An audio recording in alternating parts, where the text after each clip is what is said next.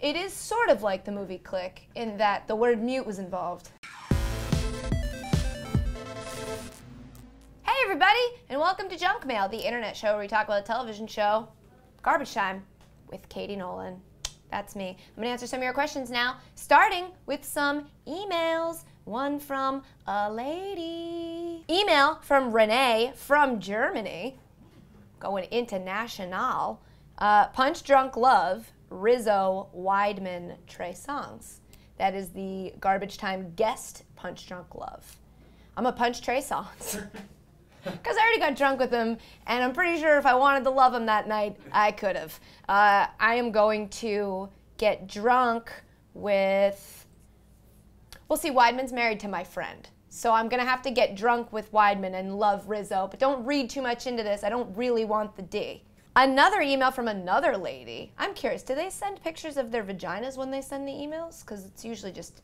I don't check that email because it's all dicks.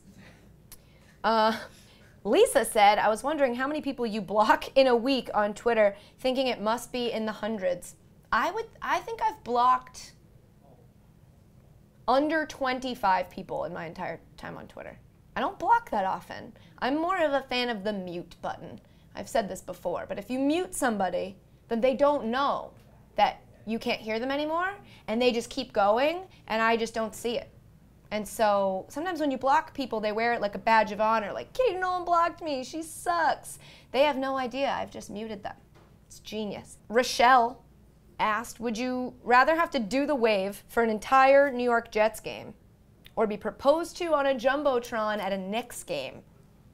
If you get proposed to on a Jumbotron in the forest and no one's around to hear it, did you still get proposed to? I would get proposed to on a Jumbotron at a Knicks game because I could just say no and then it's over. Andrew asked, what are your second favorite teams in all the sports? Great question. I think we've already said in football it's the Bears. I'm sorry. Baseball, second favorite team, the Mets? Because they're not a threat to me. Basketball's easy, the Spurs. Hockey is tough for me the Whalers. the Hartford Whalers. Grant asked, what is the best slash worst unwritten rule in sports? I love when people ask best slash, it's like, which do you want? The best, I would say, is in hockey when you do something stupid and you, when the enforcer comes back out and you know you're going to get your ass kicked on the next play. That's the best unwritten rule in sports. Personal accountability, because if you do something fucked up, you're going to get fucked up. Welcome to the real world. Don't start no shit, won't be no shit, right? That's a, is that Ralph Waldo Emerson, I believe. Worst unwritten rule in sports that you can't um, celebrate your home run. That you're not supposed to be like excited that you just did something amazing in an athletic way. Jeff asked, did you have to stop the clock during the beer mile or reshoot segments and was it real beer? First of all, of course it was real beer.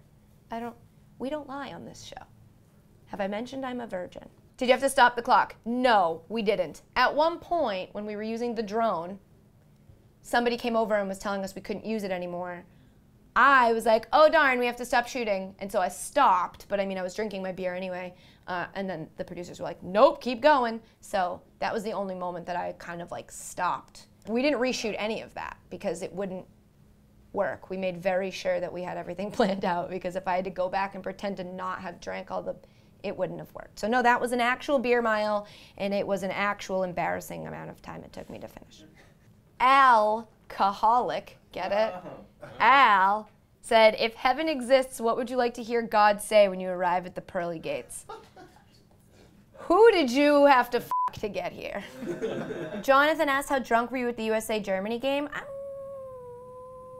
that day was a whirlwind. We didn't eat much food, and I then, once I got to the game, Strangely enough, we couldn't pour our own beers or get our own beers. We had to ask this one person, and he would just keep bringing us the beers. But so we just started doing two at a time, and then I got pretty, pretty banged up.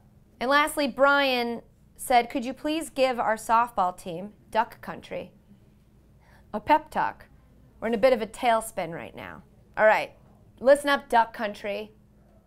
Pull it together. This is the." Did the season just start? I don't know. I know your season just started. Question mark? or you're coming up on the playoffs. One of those two things is happening. And either way, get your shit together. Do better. Be better. Strive for more. Hit the ball, catch the ball, run fastly, and slide headfirst into life. Duck Country, woo! All right, guys, that's it for junk mail. Thank you for sending in your questions. Don't stop doing that. This week on Garbage Time, you tell me what happens because you have as, as good of an idea as I do. But the good news is we are airing in prime time, 1.30 a.m. on Monday morning. See you then. Bye.